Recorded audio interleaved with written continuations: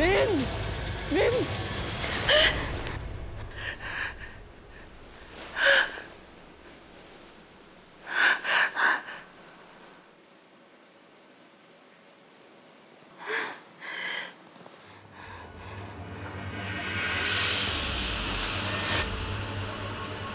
คุณกิตเขาไม่ได้รักพี่ เขารักตา ตา พี่ก็เป็นแค่เงาของตาเท่านั้นแหละจำไว้นะ คนที่เขารัก คือมุตตา เขาไม่ได้รักมุนนิน